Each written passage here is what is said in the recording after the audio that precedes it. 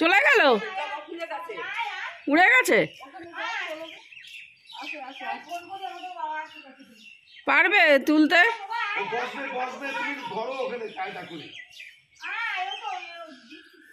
হ্যাঁ হ্যাঁ হ্যাঁ এবার তো নিচে আসছে, এবারে ধরো এবারে ধরো। আস্তে আস্তে আস্তে। ই বাবা পাখি টিয়া পাখি। কাকির পাখি উড়ে যাচ্ছে। এই এই। রাম উড়ে গেল।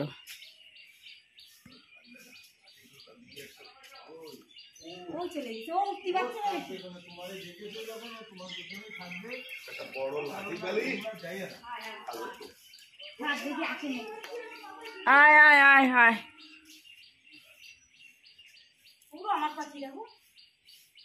তোমার পাখি চিনতে পারছ তুমি?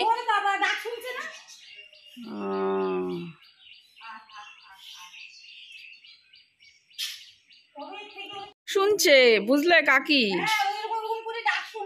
হ্যাঁ ওই যে টিয়া পাখি কাকি কাকি হচ্ছে গিয়ে উড়ে গেছে।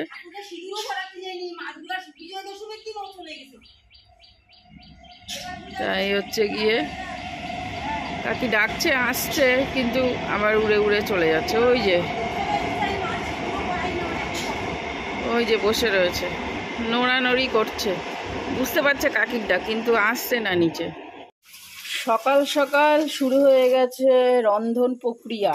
হ্যাঁ তার মধ্যে হচ্ছে গিয়ে, এই দেখো, এটা হচ্ছে গিয়ে গরম করছি মশলাটা। তো ভাবতেই পারছ আজকে কি রান্না করব? আইডিয়াতে তোমাদের। তো যাই হোক, আমি বলে দিই বিরিয়ানি করব দুপুরবেলা, তার জন্য এখন থেকেই আমি প্রস্তুতি নিয়ে রাখছি। মশলাটাকে আগে গুঁড়িয়ে নেব, একটুখানি গরম করে নেব, তারপরে মিক্সিতে গুঁড়িয়ে নেব। তো চলো, এখন রাখি, তারপরে চাটা খাব, তারপরে আবার দেখা করছি তোমাদের সাথে। শান আজকে যাচ্ছে রবিবারে চিকেন আনতে। ওই যে, চলে গেল।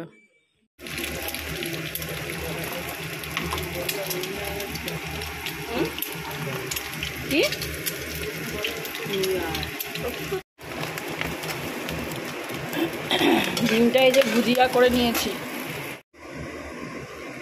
দিয়ে দিয়েছি জিরে, শুকনো লঙ্কা আর তেজপাতা।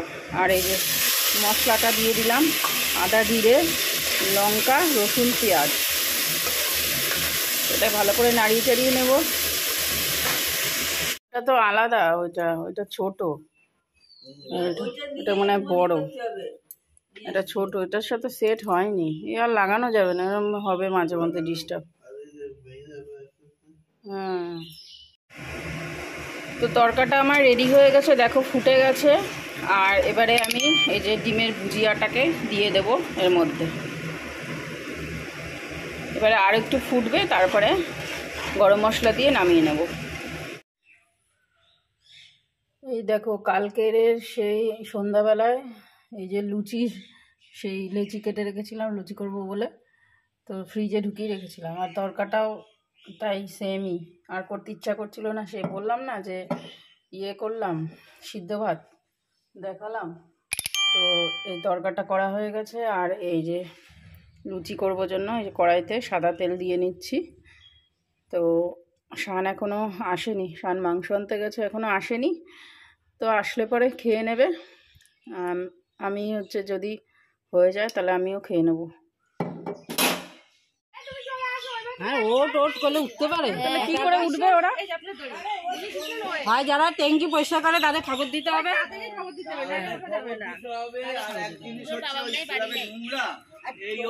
আর ও তাছাড়া ও জন্মে দিয়ে কি অবস্থা? পায়খানার চেম্বারের মধ্যে একজন পড়ে গেছে আমাদের প্রতিবেশী। তো তো তোলাই যাচ্ছে না কি হবে বুঝতে পারছি না। একদম পুরো এত পর্যন্ত কোমর পর্যন্ত ঢুকে গেছে বন্ধুরা। তো আজকে সকাল থেকে বিপদের পর বিপদ হচ্ছে বুঝলে বন্ধুরা? ওই দেখো বলছে ময়লা ফয়লা সব তুলতে হবে। তো সবাই মিলে চেষ্টা করছে কেউই তুলতে পারছে না কি হবে জানি না পরে। সময় যদি কাদায় পা ঢুকে যায় আরেকটা পায়ে সাপোর্ট পাই আমরা?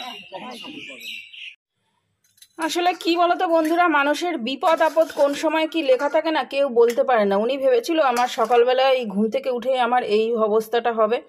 তো যাই হোক, আমি ভগবানকে ডাকছি, ঠাকুর যেন উনি বেঁচে যায়, উনি তাড়াতাড়ি যেন উঠে আসতে পারে আর যেন সবাই ওনাকে উঠা, উঠতে সাহায্য করে। তো যাই হোক, আমার এই সমস্ত ব্যাপারে না খুব কান্না পায় আর খুব দুঃখ লাগে বন্ধুরা। তো বাড়ি চলে এসেছি, বাড়ি এসে শানকে যে খেতে দিয়ে দিচ্ছি, আর মনেই লাগছে না খাবার দাবারের বানাতে। কি বলতো, বন্ধুরা, মানুষের বিপদ দেখলে না আমি থাকতে পারি না, জানো তো? পায়খানা পরিষ্কার করা ওই যে পোস্টে পোস্টে যে থাকে না, পোস্টের যে পায়খানা পরিষ্কার করার ইয়ে নাম্বার, ফোন নাম্বার, তো ফোন করেছিলাম। হ্যাঁ করার পরে ওনারা বলল কি যে আসতে পারবে না। তো কি করব বলো তো বন্ধুরা? এবারে ওনার বাপের বাড়িতে খবর দেওয়া হয়েছে, ওই যে ওনার যে হাজব্যান্ড মানে ওই মহিলাটা পড়ে গেছে। আর যে হাজব্যান্ড উনি হচ্ছে গিয়ে আমাদের বাজারে মানে আমাদের চাঁদপাড়া বাজারে, উনি হচ্ছে গিয়ে পরিষ্কার করে মানে সব বাজারঘাট পরিষ্কার করে, এরকম লোক ওনারা। তো যাই হোক খবর দেয় ওনার, ও হাজব্যান্ডের কাছে ফোন নাম্বার ফোনও নেই। যে ফোন করে যে কেউ বলবে, তো ফোনও নেই, জানো তো? তো দেখা যাক কি হয়। তো যা হয়, তোমাদের সঙ্গে সব, সমস্ত কিছু শেয়ার করব। একদম কিচ্ছু ভালো লাগছে না রান্না করতে। আজকে রবিবার সান মাংস নিয়ে এসছে। তো মাংসটা নিয়ে এসছে, আমি ফ্রিজে রেখে দিয়েছি। তো দাঁড়াও, দেখিনি, দেড় কেজি মাংস এনেছে। আজকে বিরিয়ানি করব। সকালে তো বললাম তোমাদেরকে, এই যে আমি মাংসটা, তোমার হচ্ছে গিয়ে প্লাস্টিক ছাড়িয়ে এই যে মাংসটা আমি রেখে দিচ্ছি ফ্রিজে জানি না কখন রান্না করব, শানকে বললাম কি, শান তুই একটু রস- রসুনটা বাছ। আর ওইদিকে চিৎকার চেঁচামেচি হচ্ছে, সব লোকজন ভরে গেছে বন্ধুরা। খেতেও ইচ্ছা করছে না। তো যাই একটু দেখে আসি, কে কী করছে, তুলতে পারল কি না আদৌ। তো বন্ধুরা, ও, উনি উঠেছে, বুঝলে তো? মানে ওনার দেওর এসে তুলেছে।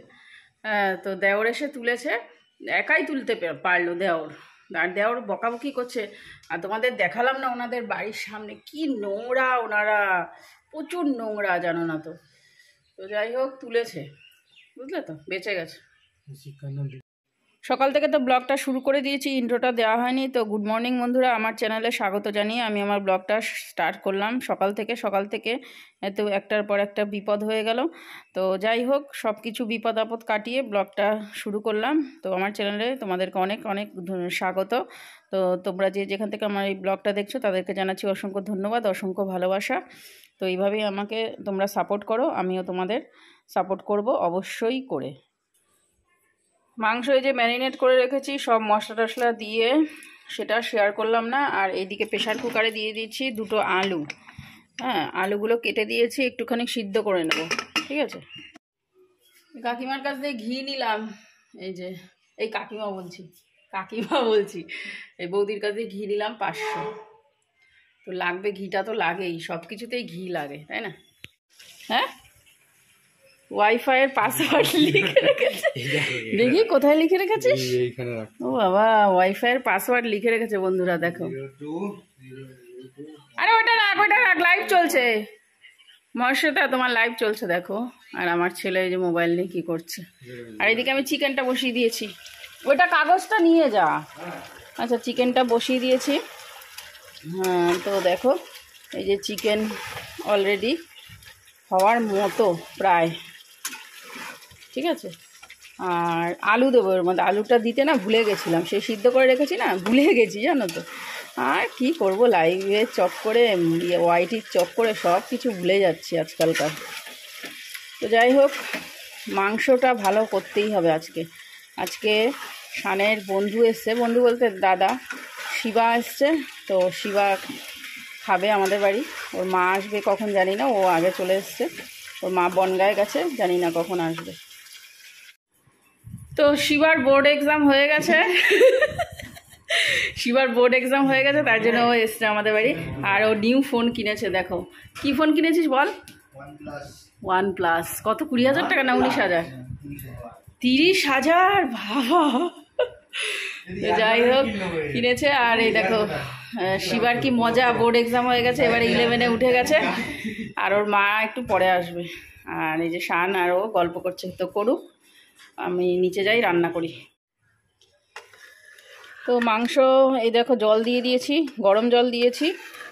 আর এই যে এবারে একটু ফুটবে মাংসটা। একটু ঝোলঝোলই রাখব, কারণ কি লোকজন এসছে আর এমনি তো শান আর হানি তো ঝোল পছন্দ করে। ওদের হচ্ছে গঙ্গা জল এরকম একটা ব্যাপার, লাগে সব কিছু তরকারিতে। তো যাই হোক, একটু ঝোল রেখেছি, এটা ফুটবে, তারপরে গরম মশলা দিয়ে নামিয়ে নেব। তো এখন ঢেকে রেখে দিই বন্ধুরা। এই যে ঢাকা চাপা দিয়ে রেখে দিই ফুটুক মাংসটা। তো এই যে গরম মশলা দেব। গরম মশলা এটা দিয়ে ঢেকে রেখে দেব। আর এই দেখো অলরেডি আমার এই দেখো ভাতটা হয়ে গেছে। ভাতটা কি সুন্দর ঝুরঝুরে হয়েছে। একটুখানি গিয়ে তেল দিয়েছিলাম। দেখো কি সুন্দর হয়েছে। তোমার হচ্ছে গিয়ে কি তেল জানো? সাদা তেল সাদা তেল দিয়েছি। বেশ শক্তই আছে ভাতটা একটু গললে ভালো হতো। যাই হোক, এরকমই ভালো লাগে বিরিয়ানির চালটা, তাই না? শক্ত শক্ত ভাতই ভালো লাগে। নরম ভাত ভালো লাগে না বিরিয়ানিতে।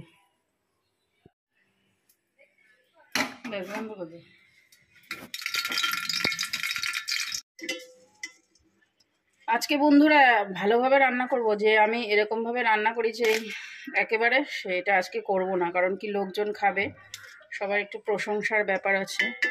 তো যাই হোক এই যে চালটাকে দিয়ে, এই চালটা বলছি, ভাতটাকে দিয়ে নিলাম। আগে তোমার ঘিটাকে গরম করে নিয়েছি দেখতে পেলে। তো ভাতটাকে দিয়ে দেবো। বেশি লেয়ার করব না, দুখানা লেয়ার করব। তো চলো দেখতে থাকো। আর এই যে মাংসগুলো দিয়ে দিচ্ছি, এর ওপরে ছড়িয়ে ছড়িয়ে।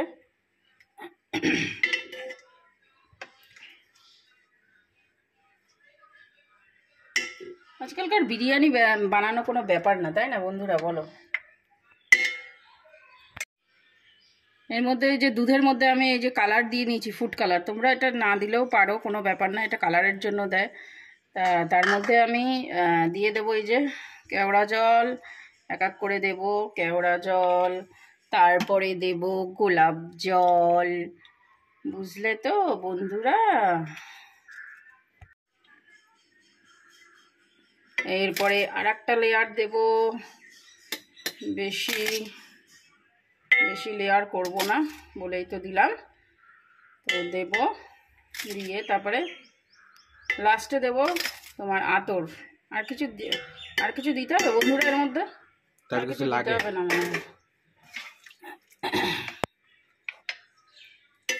কেমন বানাচ্ছি বলো বন্ধুরা। ঠিক আছে? ঝোল দিয়ে ঝোল তো অনেক হয়ে গেছে। যা ঝোল হবে গঙ্গার জল খাবি তোরা। এটা একটা দিয়ে দিই পুরোটা। আর একটু দিয়ে দিই। এটা কেওড়া জল একটু গোলাপ জল। গোলাপ পানি। এর মধ্যে দিয়ে দেবো আতর। বুঝলে? এতটা আতর দেখো বন্ধুরা পড়ে গেছে প্লাস্টিকে করে রেখেছি। যাই হোক যেইটুকুনি আছে সেইটুকুনি দিয়ে দিই। আর এর ওপর দিয়ে একটু ঘি ছড়িয়ে দেবো। আর একটু ওপর থেকে ঘি ছড়িয়ে দিলেই ব্যাস, তারপরে দমে বসিয়ে দেবো। তো চলো, এখন রাখি, দমে বসিয়ে দিই। আসল জিনিসই বেমালুম ভুলে গেছি, দেখো, এই যে মিক্সিতে গুঁড়ো করে রেখেছিলাম বিরিয়ানি মশলা, এটাই দেওয়া হয়নি। তো আমি ভাবছিলাম যে কি যেন কমা কমা লাগছে, কিছু একটা দিনই দিনই মনে হচ্ছিল। হ্যাঁ তো বিরিয়ানি মশলাটা দিতেই ভুলে গেছি বন্ধুরা, কি অবস্থা। আসলে আজকে সকাল থেকে একটার পর একটা ঘটনা ঘটে যাচ্ছে তো। ওর জন্য সব বেমালুম ভুলে যাচ্ছে। তো যাই হোক, এটা দিয়ে ঢেকে রেখে দিই, পরে ঝাঁকিয়ে দিয়ে দেবো, তাহলেই হয়ে যাবে। বিরিয়ানি বেড়ে নিয়েছি, শিবাকে দিয়ে দেবো। তো শিবা আগে খাবে, শান্ত চলে গেছে। পড়তে বন বনগায় তো ও আসলে খাবে, আপাতত শিবাকে দিয়ে দিই, ও খেয়ে নিক। একা একা বোরিং হচ্ছে বেচারা, কারণ কি শান্ত পড়তে চলে গেছে একা একা। ওর মাটাও আসলো না। কেমন হয়েছে বল শিবা খেয়ে তোর যা আসতে সাউন্ড তোর কলা কেউ শুনতে পাবে না। তো লবণ কম হয়ে গেছিল দেখো লবণ কাঁচা লবণ দিয়েছি ওর পাতে। আর খারাপ হলেও কি বলবে? খারাপ হয়েছে। হ্যাঁ? ওই ঝোল না ঝোল নিয়ে খা। তো ওই একা একা খাক। আর ওর মার জন্য পাঠিয়ে দেবো খানি কন্টেনারে করে। খাওয়ার সময় পাশে কেউ বসে থাকলে কেমন লজ্জা লজ্জাই লাগে। তো বন্ধুরা, ও শান্ত নেই, একা একা খাচ্ছে, লজ্জাই পাচ্ছে। তো আমি পাশের ঘরে চলে যাচ্ছি, ও খেতে লাগুক। তো এখন এর মতো ব্লগটাকে এখানেই শেষ করছি। নেক্সট ব্লগে দেখা হবে তোমাদের সাথে। ততক্ষণের জন্য তোমরা সবাই সুস্থ থেকো, সাবধানে থেকো, আর অবশ্যই ভালো থেকো। আর পারলে আমার চ্যানেলকে সাবস্ক্রাইব করে দিও। Okay, bye.